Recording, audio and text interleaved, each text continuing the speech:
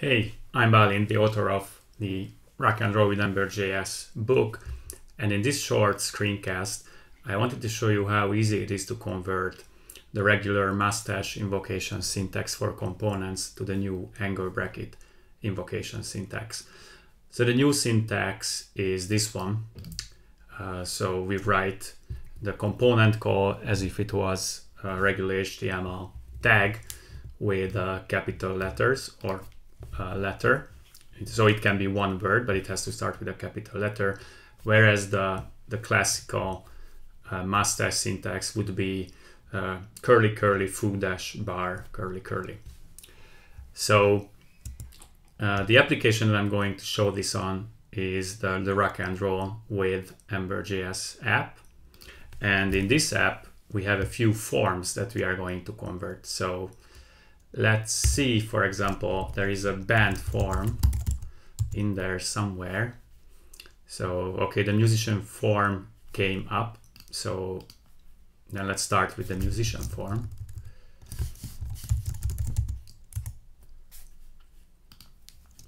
So this is the regular uh, mustache syntax for invoking it.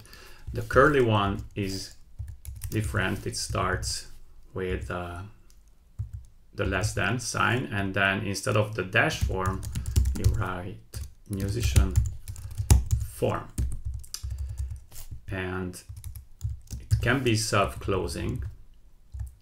And then instead of so any component arguments must be passed with the with this sigil with the at sign. So these are all component arguments, musician pre-selected bands and after save. And then we have to pass the actual values if they are dynamic in curly curly. So that's still, of course, the dynamic uh, replacement. So selected bands. Here, that's it. Okay, the template lint errors are gone.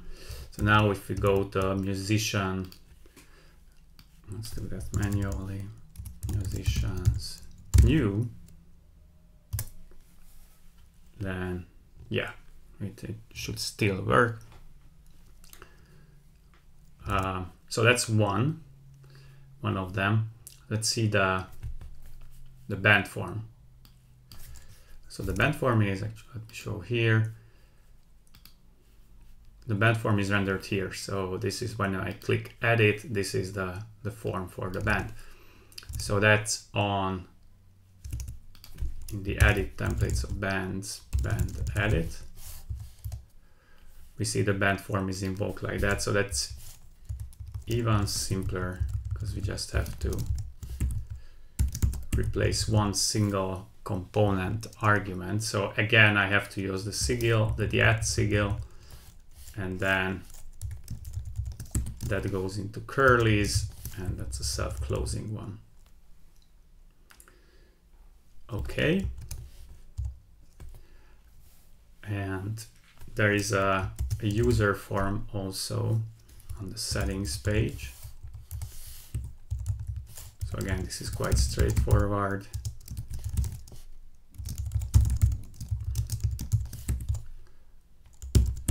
Same thing and it should still work. All right. Let's now see a case where the component also yields out some value. So there is a block parameter for the call. And for this, we are going to use uh, the power select component call, which is here. So the, these are both uh, power selects from the Ember Power Select add-on. So the way to do that is really similar, like that's going to be the same here.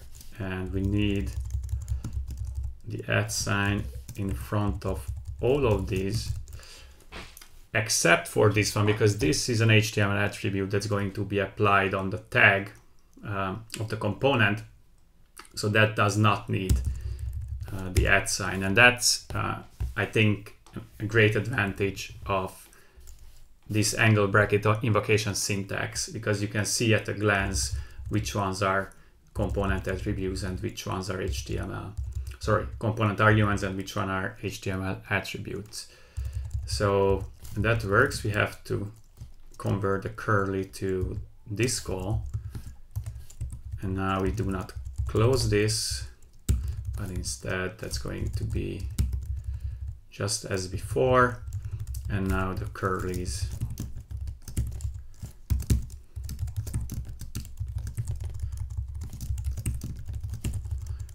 and instead of parentheses because we had curlies uh, for the call for the actual component call before and thus the parentheses for the on change action call. Now that's going to be curlies too let's see if that has worked. Yeah it seems like it did. Okay. What the angle bracket invocation syntax also enables is to have single word component names. So with the, the curly curly invocation syntax, you have to have a dash in the name. Uh, so for example, here I have this star rating component that I invoke uh, thusly. And with the new one, with the angle bracket one, I could have a component called just stars and then invoke it like that, which is pretty cool. Uh, let's actually see if that works. So it's no longer star rating.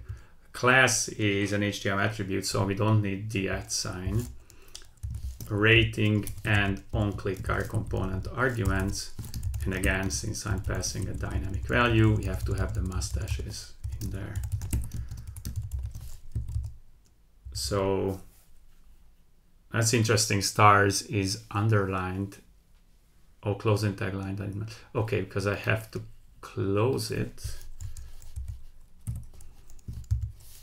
Okay, so now that should be good, but of course we have to rename the, component itself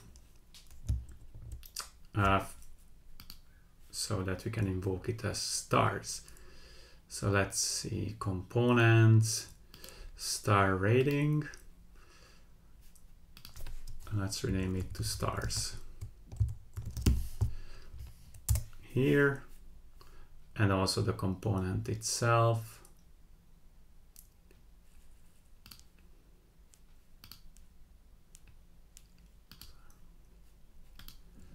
So that should also be stars. All right. Okay, the warning is not about that. And it seems like it has just worked, which is amazing. I mean, it's amazing to to have that in the template. That looks really, really cool. So that's it. I really encourage you to give it a try, to give angle bracket components a try.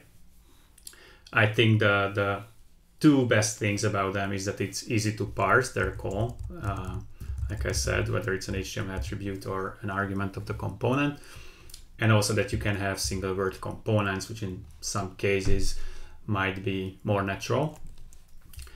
Uh, you can use this invocation syntax starting from Ember 3.4 here, but there is also a polyfill which uh, makes it possible to use it all the way back to Ember 2.12.